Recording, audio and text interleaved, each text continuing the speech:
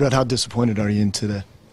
Uh, it's just one of those days. You know, you're never happy when you win or when you lose. Uh, we had a shot to, to take three out of four, but we took two out of four on the road, which isn't awful.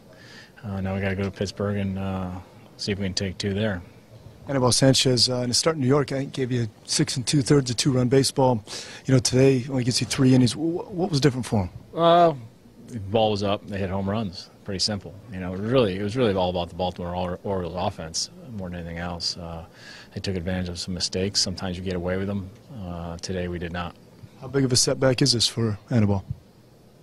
It's a blip on the radar. You'll, you'll see him again in five days.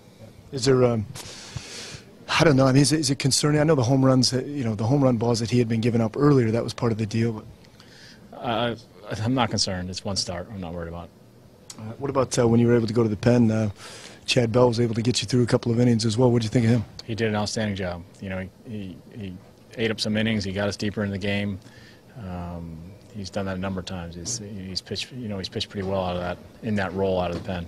We've seen a lot of um, James McCann behind the plate today. Hicks, you know, getting the opportunity day game after a night game. How about his uh, offensive plate production for you? He swung the bat well. He's, he's, from this general area, a little bit south of here, and he's uh, he got a, he had some friends and family in the stand, so it was it was good for him to have a good day, despite the fact that. Uh, we as a group didn't. Uh, I know Jose is on the bereavement list. When, when, will you make a determination on uh, on a roster move? Uh, not till after Toledo's game. Toledo's playing, playing right now, so when, when they're done, uh, we'll have a move for you then. Thanks, Brad. All right.